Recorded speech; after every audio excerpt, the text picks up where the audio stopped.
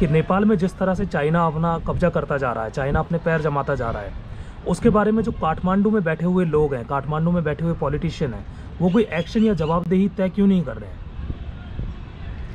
ऐसा है, जहाँ तक नेपाल की राजनीति और वहाँ के राजनीतिक दलों का सवाल है,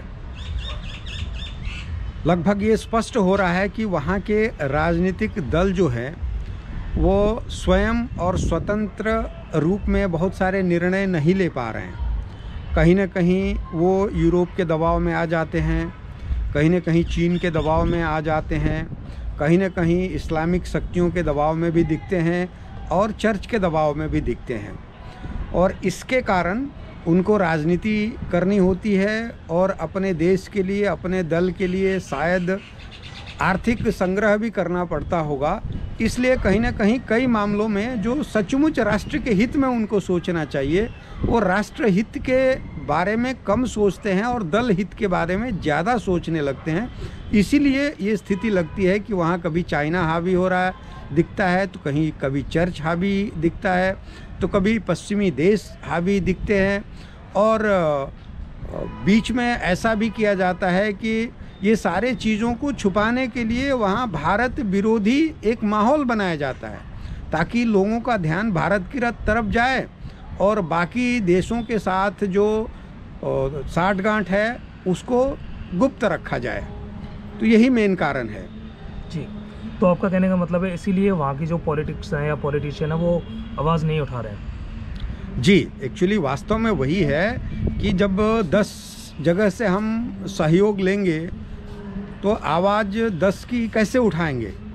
जैसे पश्चिमी देश हैं और चाइना है, ये दोनों देश आपस में मिलने का कोई प्रश्न ही नहीं है। इसलिए वो इधर भी ठीक, उधर भी ठीक। इस नीति से वो चलते हैं, जो कि इस नीति के कारण उनको नुकसान होता है।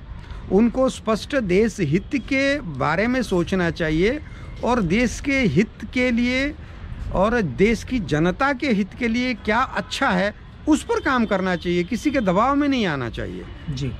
देखिए जब से नेपाल के अंदर राजतंत्र की सरकार गिरी है नेपाल के अंदर बहुत सारी पॉलिटिकल पार्टीज़ बन चुकी हैं जो अपने देश को नहीं संभाल पा रही है। वहाँ के जो देश के लोग हैं उनका हाल बद से बदतर होता जा रहा है। तो आपको क्या लगता है कि ग्राउंड रिपोर्ट क्या है? लोगों की मन में क्या चल रहा है?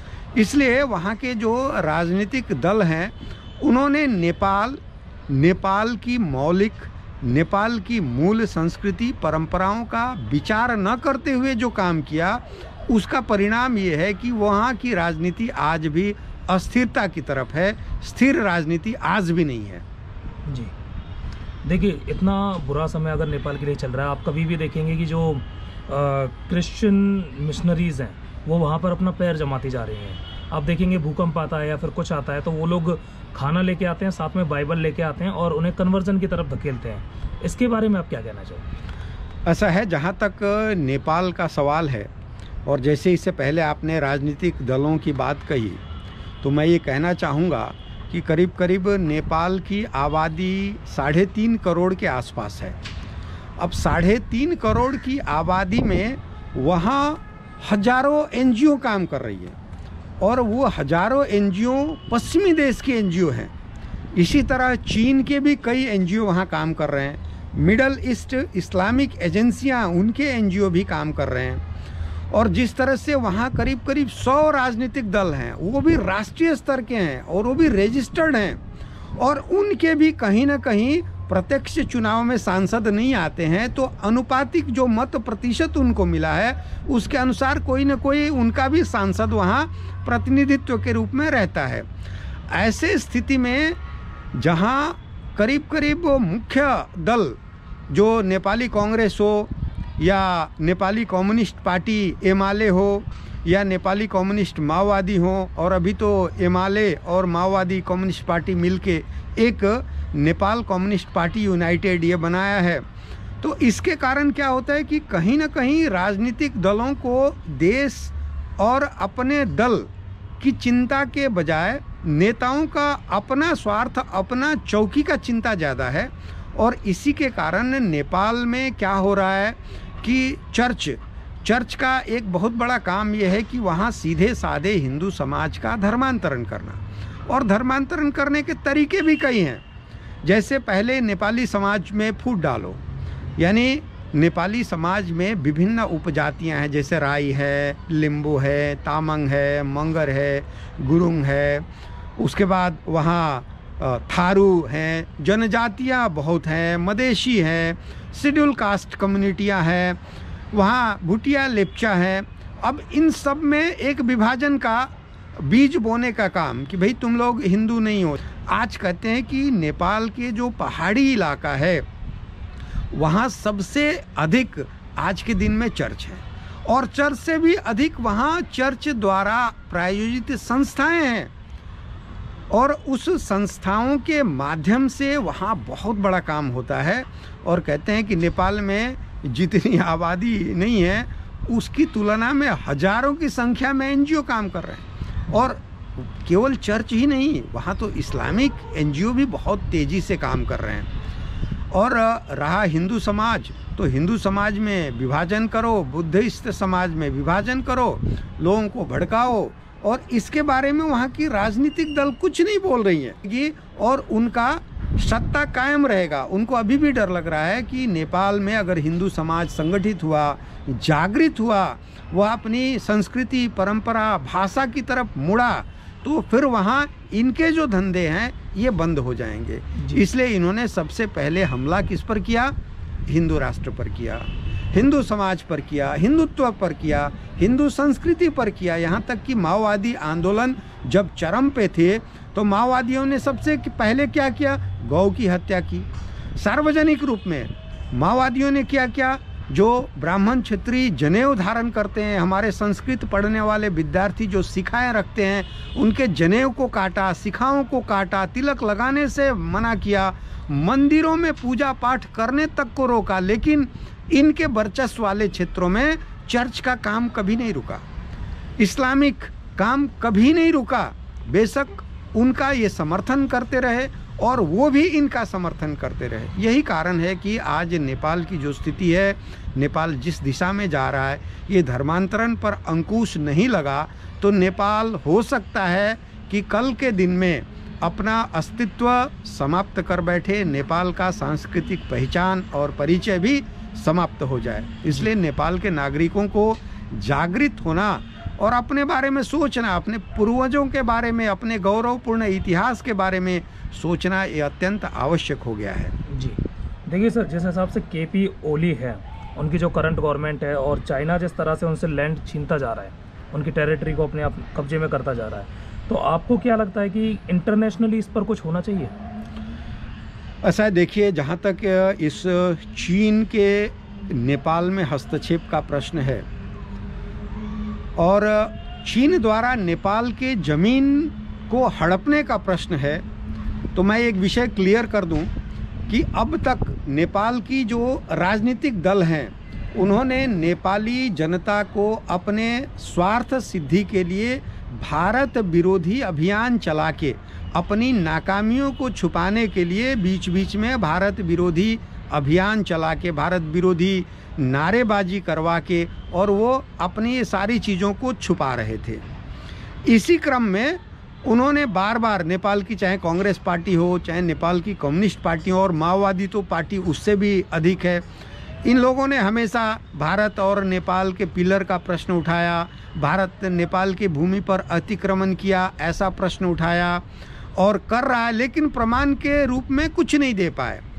इसलिए बार बार भारत और नेपाल का जो संबंध है 1950 की संधि, मैत्री संधि के अनुसार भारत के व्यक्ति नेपाल आराम से जा सकते हैं, कोई वीसा पासपोर्ट की ज़रूरत नहीं है।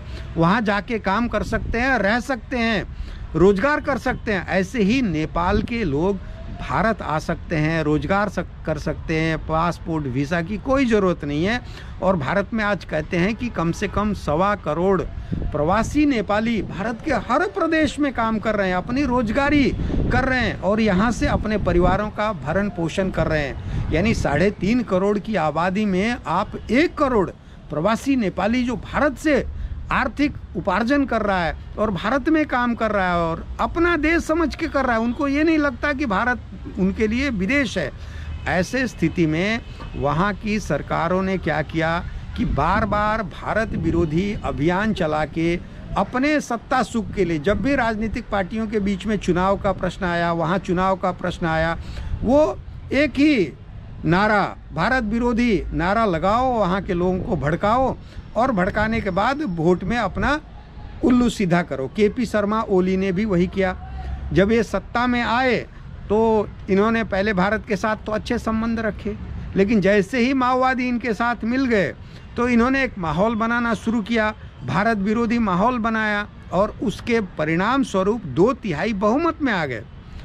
और यही नहीं, इन्होंने इनके पार्टी में जब फूट आई, इनको हटाने का प्रश्न आया तो उन्होंने भी फिर से भारत विरोधी हथकंडा चलाया। उन्होंने कभी कहा कि ये सारा काम भारत कर रहा है। वो कभी कहा कि भारत हमारे सीमाओं को हड़प रहा है। और उनकी पार्टी, उनके लोगों ने ऐसा किया। और उन्होंने एक और कदम चलाया, कि लिपू लेक काला पानी, लिम्पिया धूरा, जो नेपाल के मानचित्र में कभी था ही नहीं। उसको लेके विवाद बनाया और अभी अभी आपको पता है एक साल पहले जून के महीने में मई महीने में अप्रैल महीने में उन्होंने नेपाल के संसद में एक नया नक्शा प्रस्ताव पारित करवाया और उसमें लिम्पिया धुरा लिपू लेक और काला पानी का एरिया समावेश किया। क्या आप हम ये समझ लें कि एक नेपाल में एक हिंदुस्तान का पक्ष रखने वाली पार्टी का उदय होना चाहिए? ऐसा है जहाँ तक नेपाल में भारत समर्थक पार्टी, उदय का कोई प्रश्न ही नहीं है। हमारा इतना ही मानना है कि नेपाल में कोई भी दल आए, वह दल नेपाल के बारे में सोचे, नेपाल के हित के बारे में सोचे। जैसे मैं एक उदाहरण देता हूँ। जिस तरह से प्रधानमंत्री नरेंद्र मोदी गुजरात के मुख्यमंत्री थे और उनको श्रीमती सोनिया गांधी ने गोधरा कांड के बाद मौत का सौदागर और उनके बारे में यूरोप में, अमेरिका में इतना अपप्रचार किया, जिसके कारण नरेंद्र मोदी जी को अमेरिका ने वीसा देने से मना कर दिया, उनका कार्यक्रम में जाने तक मना कर दिया। लेकिन वही प्रधानमंत्री बने तो उन्होंने वैर भाव नहीं रखा अमेरिका से। उन्होंने भारत के हित के लिए कदम बढ़ाए और वही अमेरिका प्रधानमंत्री नरेंद्र मोदी जी के लिए रेड कारपेट बिछा दिया और वही अमेरिका आज भारत का एक प्रगाढ़ मित्र है।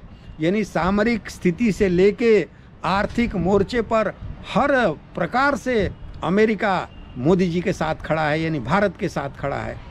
इसलिए मेरा ये मानना है कि नेपाल की राजनीतिक दल जो भी हैं, उनको ये तय करना है कि वास्तव में नेपाल का सच्चा मित्र कौन हो सकता है। यूरोप हो सकती है या अमेरिका हो सकता है, या चीन हो सकता है, या भारत हो सकता है।